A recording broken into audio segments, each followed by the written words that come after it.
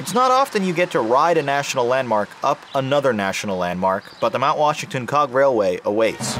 Jon's Adventure Vlog. The ride up on the Cog Railway was a lot of fun. Just sitting in the seats that are permanently slanted forward because when you get going, you kind of lean back into them. No, it's like, well, this is weird and uncomfortable. Oh, wait, that'll make sense later.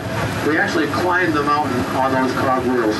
There's four cog wheels on each one of these biodiesels. It's just such a really neat engineering marvel where the engine is in the back and it goes up and the ratchets lock into place on the chain link that goes through the middle of the rail so it can never roll backwards. If you do the math, the front of the coach is 15 feet higher than the back of the coach, which is only 70 feet long. This looks like Middle Earth. It's usually very hard to even see the rock piles. If we stopped the train and you could walk over there, it's a beautiful view. We're literally in the clouds right now. That's how far Is it we what you expected? I mean, it's kind of commercialized. You have like a gift shop and a restaurant, and I don't know if I would say it's commercialized. It's not commercialized like Niagara Falls. but it's it's it's developed. It's been operating at a 37 degree incline up this mountain since the 1860s.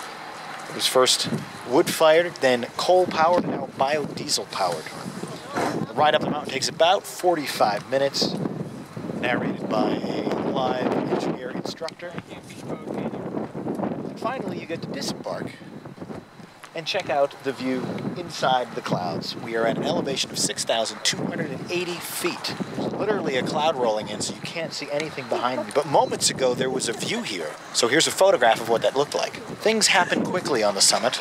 The highest ever recorded by man, 231 miles an hour. Oh, this is so cool. In the span of just like an hour, we went from 80 degrees to 40. I came here as a kid. I was probably 10 at the time. And when I was a little bit older as a Boy Scout, I want to say maybe like 14 or 15, I hiked up Mount Washington with my troop, and we got to about 5,000 feet, about 1,000 from the summit, before we had to turn back because the clouds had rolled in, visibility was terrible. It was a uh, tiring and rewarding experience to hike up a gigantic mountain like this, and something I'm definitely not in the shape to do today. You see the clouds coming in? All right, so let me know. I'm presently standing at the highest point on the internet. Now I'm not point. How quickly our fortunes change. On the plus side, though, the air here is just so clean and fresh, and it's like, I just want to breathe it in. It's beautiful. That is fast. I feel like we're in a plane.